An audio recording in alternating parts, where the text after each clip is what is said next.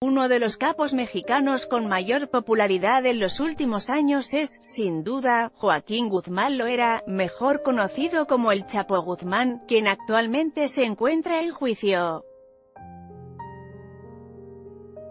Por supuesto, en torno a este personaje hay otras personas que han robado cámara y no, no hablamos de sus cómplices, sino de su esposa Emma Coronel y la actriz Kate del Castillo, quien no dudó en exprimir su contacto con el capo.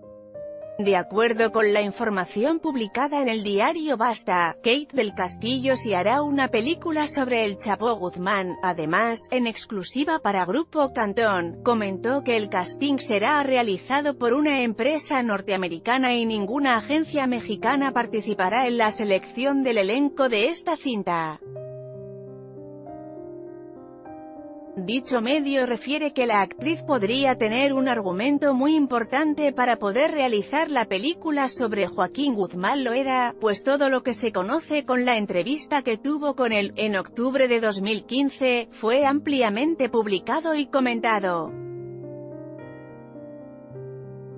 Esto ha llamado la atención de miles de personas, pues para poder usar la marca El Chapo debe ser notificado a Emma Coronel o al menos es lo que ella ha dejado en claro anteriormente en diferentes medios. Hasta ahora, la pareja del Chapo Guzmán no ha comentado nada al respecto, pero podría que en cualquier momento intervenga por la marca de su marido. En cuanto al filme, se desconoce la riqueza de los guiones pero Diario Basta, indica que Kate tiene un equipo muy amplio de productores, lo que podría ayudar a que sea un interesante documental. Con información de la neta noticias, Wikipedia y Diario Basta. Fotografía especial anímate a comentar.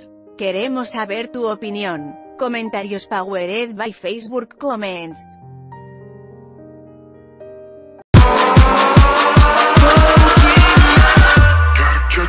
Oh.